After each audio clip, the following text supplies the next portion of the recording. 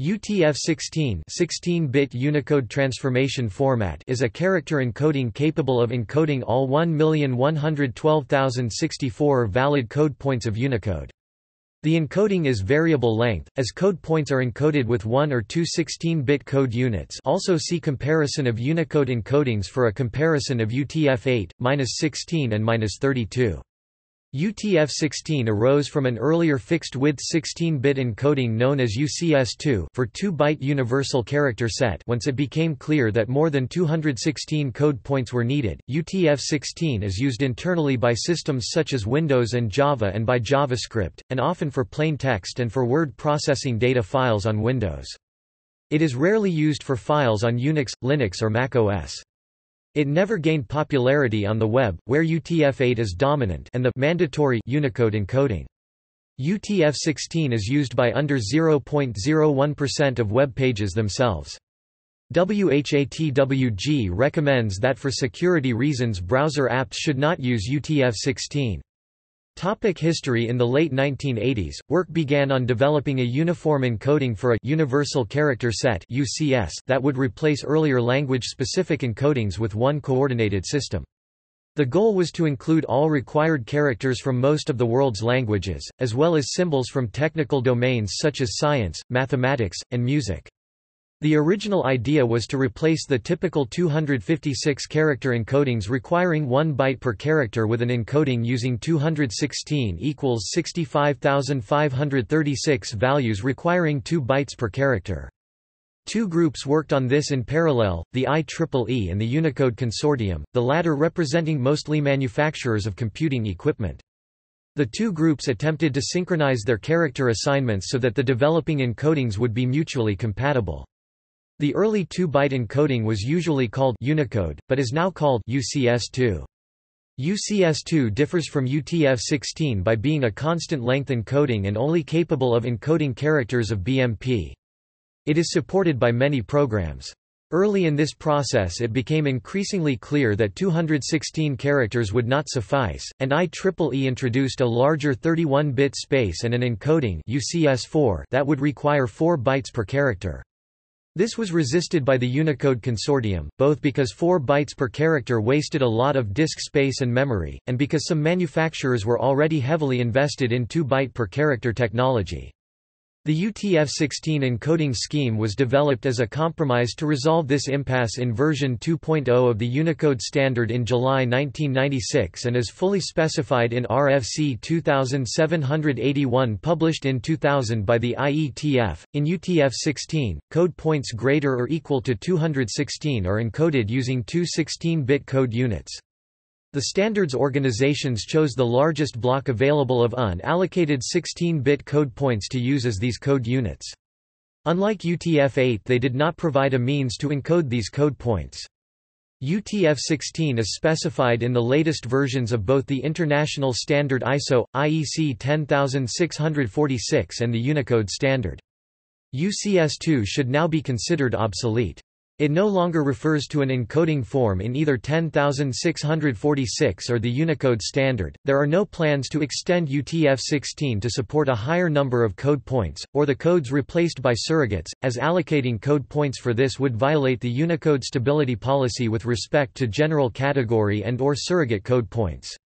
An example idea would be to allocate another BMP value to prefix a triple of low, low, high surrogates. The order swapped so that it cannot match a surrogate pair in searches, allowing 230 more code points to be encoded, but changing the purpose of a code point is disallowed. Using no prefix is also not allowed as two of these characters next to each other would match a surrogate pair. Description U plus 0000 to U plus D7FF and U plus E000 to U plus FFFF. Both UTF-16 and UCS2 encode code points in this range as single 16-bit code units that are numerically equal to the corresponding code points. These code points in the Basic Multilingual Plane (BMP) are the only code points that can be represented in UCS2. As of Unicode 9.0 some modern non-Latin Asian, Middle Eastern and African scripts fall outside this range, as do most emoji characters.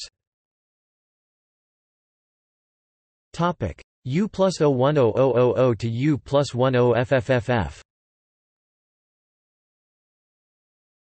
Code points from the other planes called supplementary planes are encoded as two 16-bit code units called a surrogate pair, by the following scheme Hexadecimal 10000 is subtracted from the code point, leaving a 20-bit number in the range hexadecimal 00000 hexadecimal FFFFF.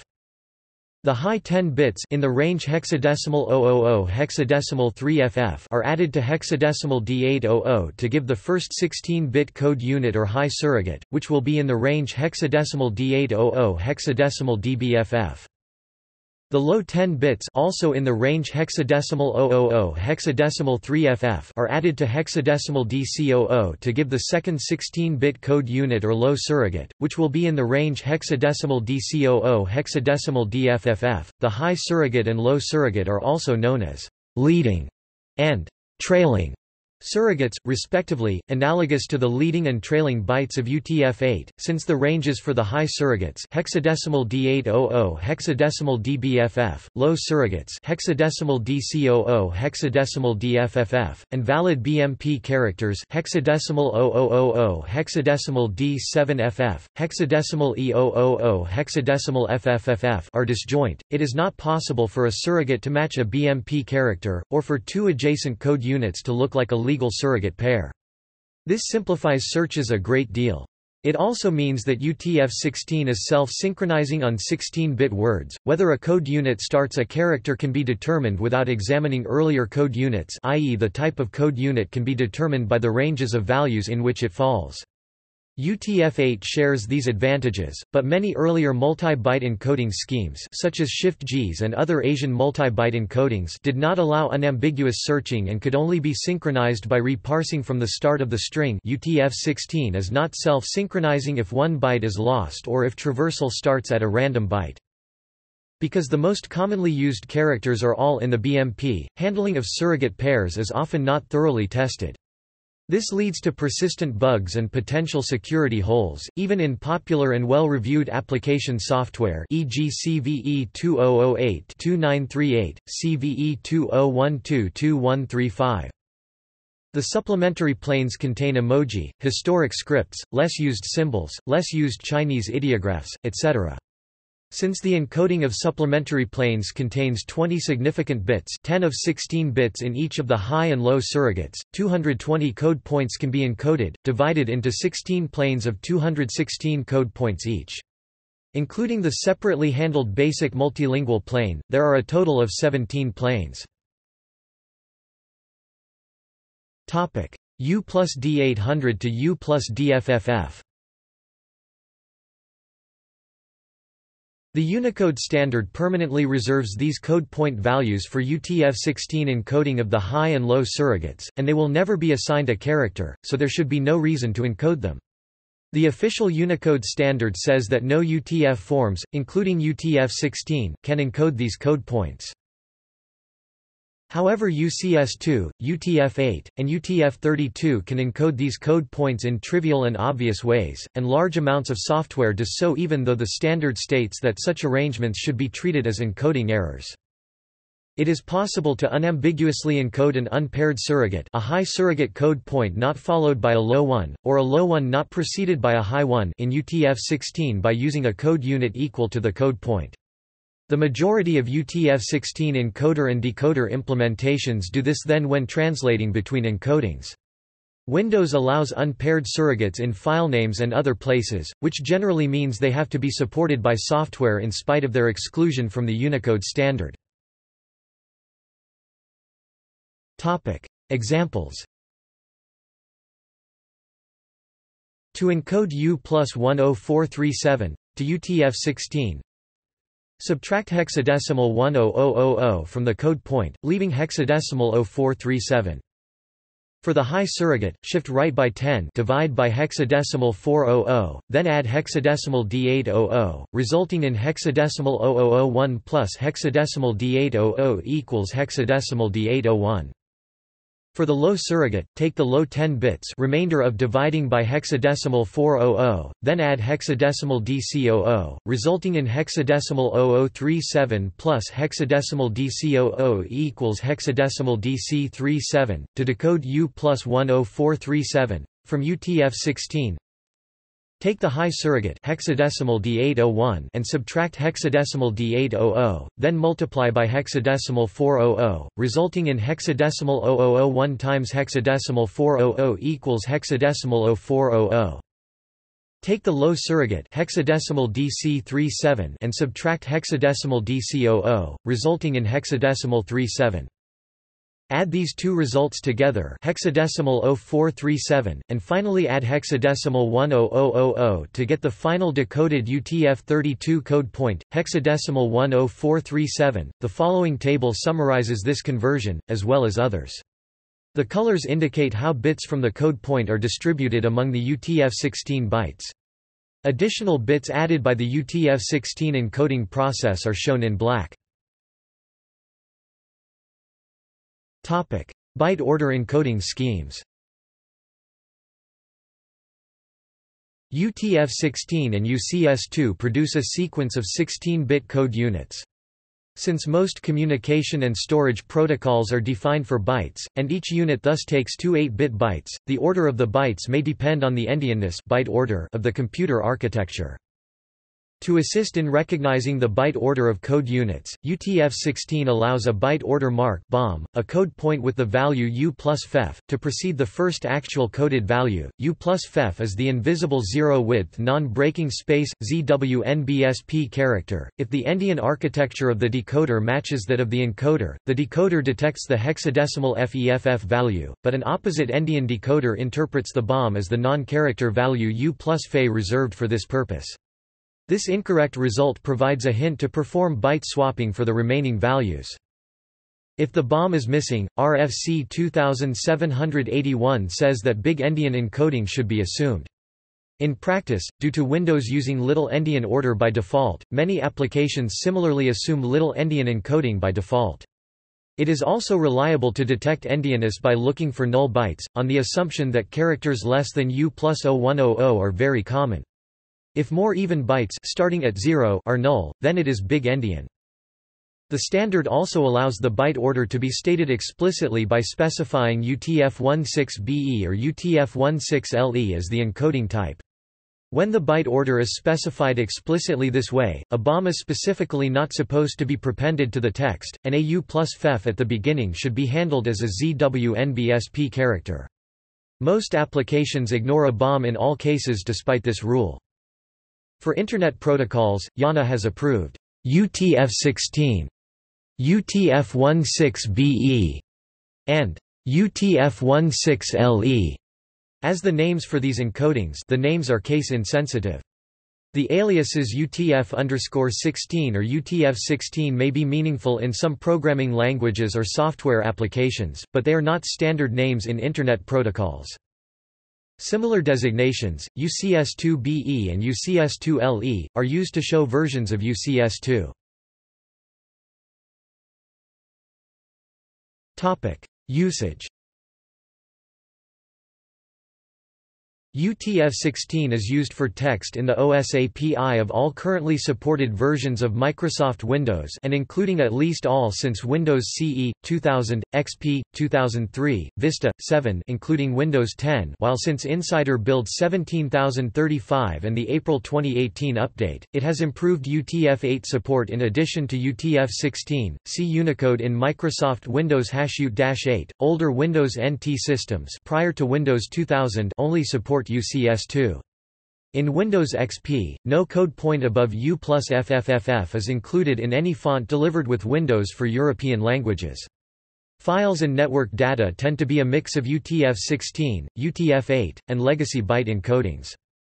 IBM iSeries systems designate code page CCSID 13488 for UCS2 character encoding, CCSID 1200 for UTF-16 encoding, and CCSID 1208 for UTF-8 encoding. UTF-16 is used by the Qualcomm BREW operating systems, the .NET environments, and the Qt cross-platform graphical widget toolkit. Symbian OS used in Nokia S60 handsets and Sony Ericsson UIQ handsets uses UCS2. iPhone handsets use UTF-16 for short message service instead of UCS2 described in the 3GPP S23.038 GSM and as 637 CDMA standards. The Joliet file system, used in CD-ROM media, encodes file names using UCS2-BE up to 64 Unicode characters per file name. The Python language environment officially only uses UCS2 internally since version 2.0, but the UTF-8 decoder to Unicode produces correct UTF-16. Since Python 2.2 wide builds of Unicode are supported which use UTF-32 instead, these are primarily used on Linux. Python 3.3 no longer ever uses UTF-16, instead an encoding that gives the most compact representation for the given string is chosen from ASCII, Latin 1, UCS2, and UTF-32. Java originally used UCS2, and added UTF-16 supplementary character support in J2SE 5.0. JavaScript implementations may use UCS2 or UTF-16.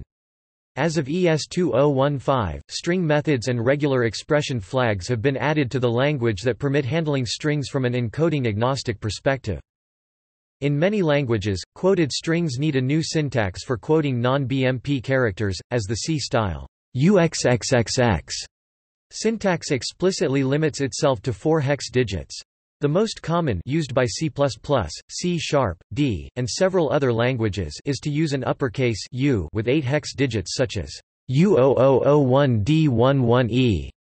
In Java 7 regular expressions, ICU, and Perl, the syntax X1D11E must be used. Similarly, in ECMAScript 2015 JavaScript, the escape format is U1D11E. In many other cases such as Java outside of regular expressions, the only way to get non-BMP characters is to enter the surrogate halves individually, for example, UD834 UD1E for U plus 1D11E. String implementations based on UTF-16 typically return lengths and allow indexing in terms of code units, not code points. Neither code points nor code units correspond to anything an end user might recognize as a character. The things users identify as characters may in general consist of a base code point and a sequence of combining characters or be a sequence of code points of other kind. For example, Hangul conjoining jamos. Unicode refers to this as a grapheme cluster, and as such, applications dealing with Unicode strings, whatever the encoding, have to cope with the fact that they cannot arbitrarily split and combine strings. UCS2 is supported by PHP and MySQL. Topic. See also. Comparison of Unicode encodings. Unicode plane. UTF-8 UTF-32 Topic. Notes. Topic References Topic. External links A very short algorithm for determining the surrogate pair for any code point Unicode Technical Note No. 12, UTF-16 for processing Unicode FAQ, what is the difference between UCS2 and UTF-16? Unicode Character Name Index RFC 2781, UTF-16, an encoding of ISO 10646 Java.lang. String documentation, discussing surrogate handling